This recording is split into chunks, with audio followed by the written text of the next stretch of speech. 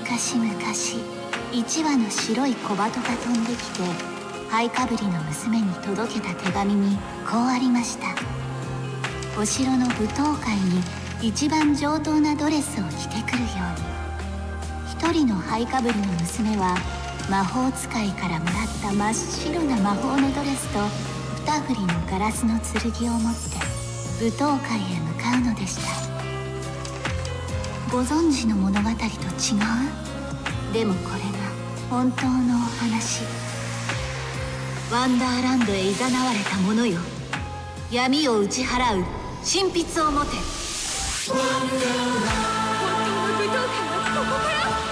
うこそワンダーランドへ。さあ物語の始まりです。ワンダーランド